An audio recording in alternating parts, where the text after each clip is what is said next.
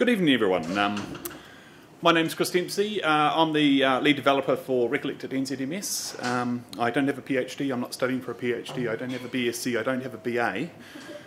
I have, however, been working um, with the internet and uh, um, with um, crowds, essentially, for over a decade now. So I feel I'm, I'm fairly clued up on, uh, on what the, the crowd is about, what the internet is about a little bit of background to me, I, I, developed up the calculators, the mortality calculators for the sorted website, which as a young father was a bit of a depressing thing to do. I then moved on and did things like uh, trade doors and things, trade access for uh, tradesmen who only have thumbs. And when you only have thumbs, the internet is a difficult place to be. So we gave them a loyalty site as well to, uh, to reward them for actually using their thumbs correctly. But I also have a wild crowd under my belt. I run the Dine Out website, which employs an awful lot of people for free. We review restaurants up and down the country, and if you ever want a wild crowd and you want wild content, that's the kind of project they have. But what all this means is, I'm not a designer, I'm a developer, and I spend all of my time in code view. This is how I see my life. This is how I spend my time, because data is cool, and I love data. I love interconnected data. I love the way it fits together. I love the way that it's awful on one side and fantastic on the other. See, data for me is king. However, let's talk about Wanganui and their uh, crowdsourcing project. Uh, the Alexander Turnbull Library uh, has a uh, huge historical index um, of people and subjects spanning about 150 years, and it's been managed and maintained by volunteers uh, and covers births, deaths, marriages, and other interesting bits and pieces from the local newspapers. Uh, these index cards are constantly in use by members of the public who come through and, and thumb through them all. They have more than just thumbs. And um, uh, then they utilise the information that's on those cards to actually request pages or whole entire newspapers to be pulled out and scanned and copied and digitised out of the archives. Now, Wanganui Library stopped adding new cards, which is probably a good thing because they've got over 150,000 of them. So the big challenge for them is how to get that information off those cards and into a database in some way to make it accessible and usable, but also so they can carry on extending it. All those cards. Thankfully, that isn't their cards, but it's not far off. 150,000 cards means a lot of work. And any small task multiplied by 150,000 becomes monumental. If we assume that a single card can be read and transcribed in about a minute, one minute by 150,000 is 2,500 hours, or 312 eight hour days, or about a year and a half for some poor soul to slog their way through. However, not all cards are made equal. Some have a lot of text, and some provide other challenges. Because of the scale of the job, simply increasing the time per card to two minutes adds another year and a half to the project. And did I mention that uh, some of the cards are double sided? So this sounds like the perfect candidate for a uh, crowdsourcing project. Many hands make light work and so on. So a plan was required. The first question that has to be asked for even starting down a crowdsourcing project is, why? You'll need a good reason for actually starting a crowdsource project because you'll need to explain it to a far wider audience. You need to explain to them why they should bother. What's in it for them? And if you can't explain it to them, how are they going to become enthused? How are they going to become part of your crowd? If you can't explain why to every single person about why they should be filling in and, and becoming part of your crowd, don't start. Wanganui, um, Wanganui's why is that the cards are not being added to. Uh, the data that they want to add to it is stacking up and uh, the cards are still being used. They want to carry on using these cards. They want to access the information that is on there now and they want to add more information to them in the future. The next question, still before you even start talking about crowds, is how to digitize your materials. If this is an in-house project, possibly you could just work off the original materials, but it's more likely that you're going to want to digitize them um, and put them onto the internet or somewhere. Uh, that gives you a much, much wider audience. And um, at NZMS, we've got a number of very successful methods of, of quickly and, and uh, efficiently scanning and digitizing all these materials. But it depends on what your project is. If you're trying to map a graveyard, all you need is an iPhone and a GPS, and therefore you have all the information you need. We started with a sample of about 1,000 cards from Wanganui. Um, we tested a variety of scanning and indexing and, and sorting methods fronts and backs and sets and groups and, and all sorts of things. And we managed to convert those cards into 1,252 transcribable items, grouped as sets, front and back, all noted. A quick OCR run, and we're ready to roll. Probably the next most important question to ask, or even the most important question to ask, is what do I want to achieve at the end of all this? Do you just want transcription?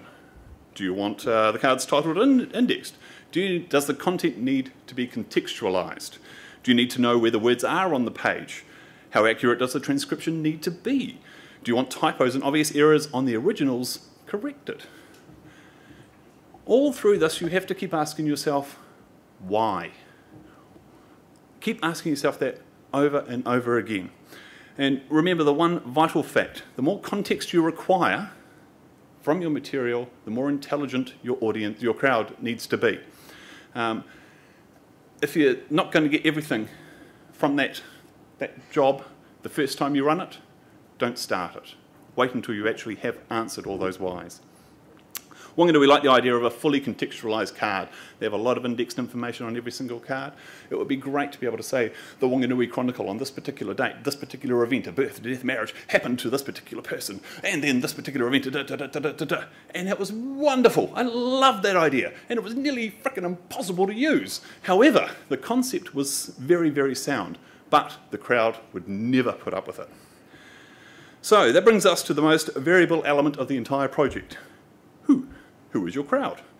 If you're publishing this out to all and sundry, then your crowd is wide and diverse. It includes doctors and dentists and murderers. Uh, it contains accountants and school children, the truly humorous and those that are just funny. The world is full of wonderful and interesting people, but it's also full of crackpots and weirdos. A quick read of comments on a vaguely controversial stuff article or a YouTube video will give you the insights into the minds of others. We don't all have the same moral compass, beliefs, skills, or intelligence. And these are the people who will be your crowd. Even a small, tight knit group will have a wide differences of opinion and levels of helpfulness. We'll talk a bit more about your helpful crowd later, though. Wanganui's crowd is a mix of their current volunteers, their in house staff, um, interested people in the region, and local communities and uh, other organisations. So the crowdsourcing proof of concept project was launched. We loaded the cards into Recollect and presented them for crowdsourcing. Our initial launch was to a very select few. We have slowly leaked it out to other wider groups for testing, collating their feedback and tweaking the inputs and usability as we went. When you launch to your audience, you'll need to know what uh, you're doing and why. Your homepage for the project should show its current status, leaderboards, stats, other activity, but also a reason to participate. Don't make it too complicated. Make it sound like a fun thing to do, even though it's the most boring job on earth.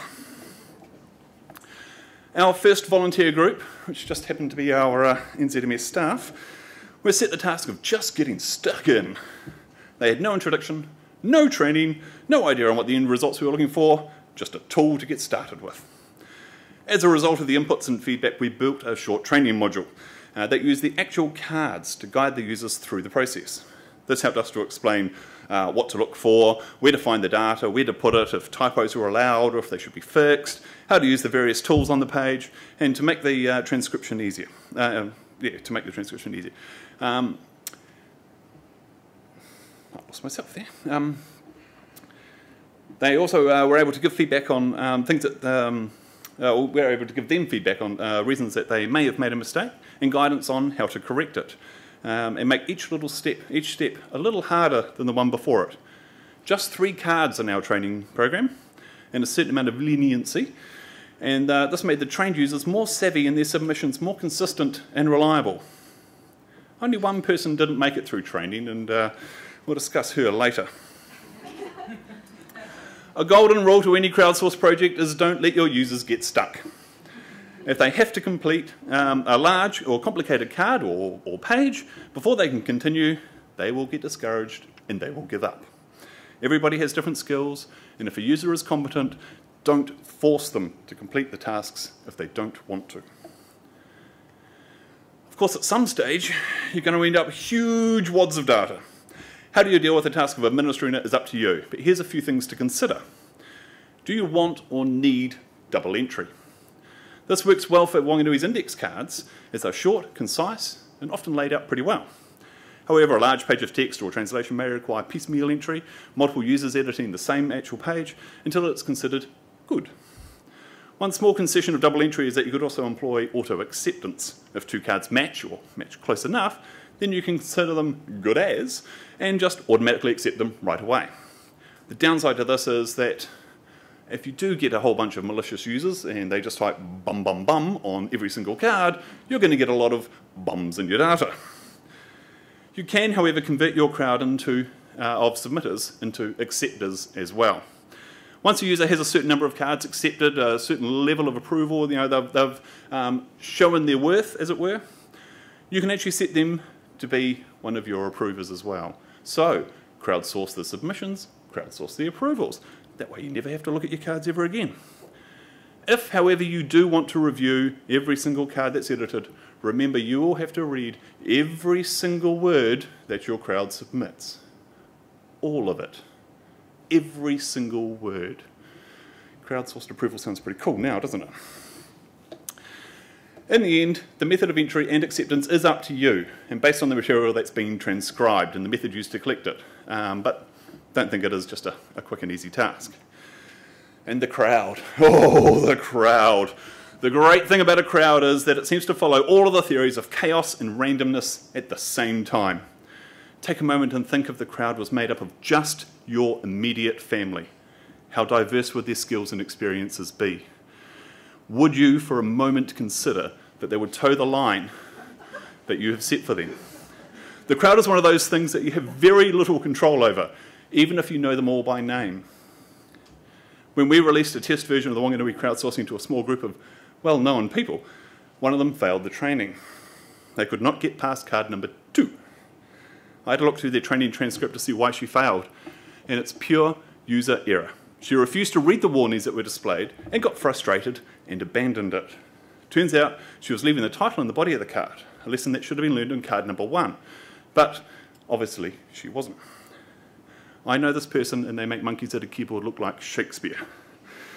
She's keen to help, but the quality of her contributions would always be in doubt. We love her dearly, but we don't want her in our crowd. Training weeded her out. Many other people have breezed through the training process and then got stuck into correction. Uh, some are fastidious and precise, ensuring that every comma and apostrophe is in the right location. Others are quite, uh, quite accurate, but eventually they get lazy and start to let some errors slip through. Some, of course, were lazy from the first card they ever did. Thankfully, so far, none of the crowd has been malicious except that one, evil. We've received some odd entries, but none that contained anything more than what was on the card to begin with. That's not to say that we won't get one, uh, but we have the tools on hand to make sure that um, if they uh, get identified, they can be banned. Accuracy. It is what you want it to be. If you are converting into a contextualized format for a database, then you might need high levels of accuracy. Every I dotted and every T firmly crossed. Wanganui wanted the titles and card numbers to be extracted after we discovered that uh, we weren't going to be able to do the whole contextualised because the crowd were going to revolt. But the rest of the card became keyword searchable. Therefore, punctuation and spacing was less important than having the numbers and letters entered correctly. Correct capitalisation was of no great concern, and spacing and layout was up to the individual, but the question still remains over what to do about the typos and abbreviations from the original images. If a word is spelled incorrectly on the card, should it be transcribed as such? or as it was intended. Uh, spacing concerns on the originals are of no longer of, of, any concern. So should we correct intentional mistakes made on the originals as we go, like typing over the edge of the card? If so, how does this impact on the double entry um, comparisons? Wanganui's answer is, we don't know yet. We asked a lot of questions at the start, but you can never ask all of the possible questions. And during the project, your rationale and reasons may change. So be prepared for the occasional goalpost move. So lessons. Constantly ask, why are you doing this? If you find it hard to explain to uh, your, your boss, your, your colleague, your wife, husband, daughter, child, or some random person walking down the street, if you can't make them grasp what it is that you're trying to do, then maybe you shouldn't start. Make sure that your material is crowd friendly. Digitize it and make it accessible. If you're putting it on the web, then make sure it's web friendly.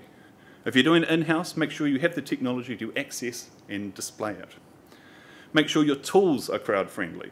Offer training to the newbies. Offer them to skip the hard or boring bits. Show project status and leaderboards. If it's on the web, make sure that it's accessible to a wide variety of browsers.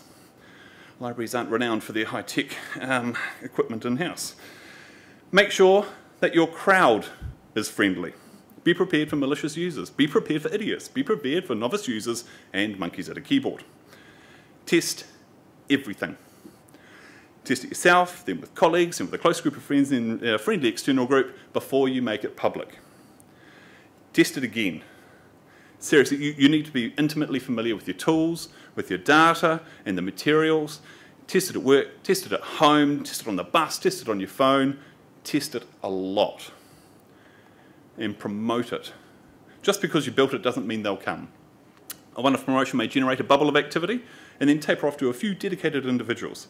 But constant marketing and promotion of your crowdsourcing product will keep it alive and moving fast. And enthuse and reward your crowd, or at least recognize their input. You should have prizes or, or just fame, but you have a volunteer workforce doing a fantastic job for you, and they should be recognized in some way.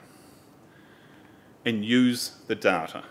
I know it seems obvious, but remember why it is that you wanted to start this project in the first place.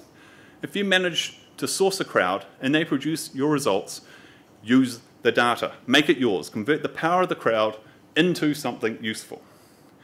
Wanganui's crowdsourcing is populating the Recollect system directly, so they're able to use the data as soon as it's approved. Their crowdsourcing project, however, is a trial, a proof of concept, or an experiment.